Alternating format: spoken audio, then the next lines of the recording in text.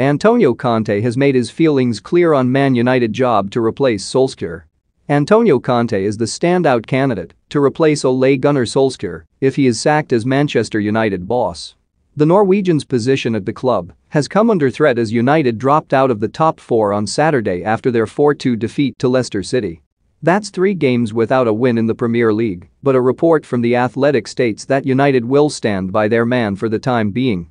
Conte, ex-Chelsea coach's criteria for replacing Solskjaer at Man Uttonville, Man United icon gives his opinion on Conte's situation Rashford, strikers team unhappy with Solskjaer's recent comments that hasn't stopped the rumour mill from gaining traction and former Chelsea manager Conte is the obvious choice to succeed Solskjaer with the Italian currently out of work after leaving Inter Milan in the summer.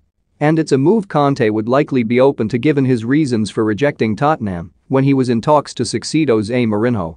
The 51-year-old was worried that Spurs' long-term goals did not align with his as he is looking to manage a side with the potential of winning silverware. He doesn't necessarily need to join a team that are contending for titles right away, but with scope to become one. Conte, at the bare minimum, wants to be joining a top four side.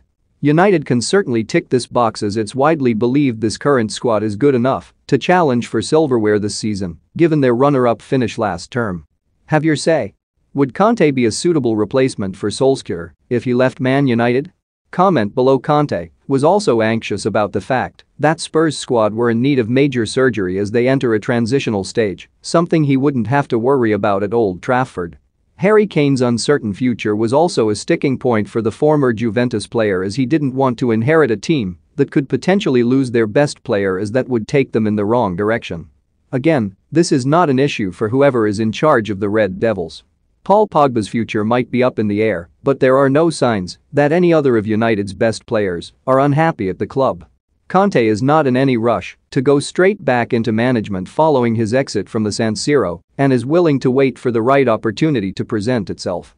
Conte discussed his reasons for snubbing Spurs with Gazzetta dello Sport. I look for the projects instead, and I am ready to stay at home. If something is not convincing me it has to do with vision, honesty and principles. Generally, I like challenges, and I've accepted many of them during my career. Even the top clubs I coached were never the favorites when I arrived.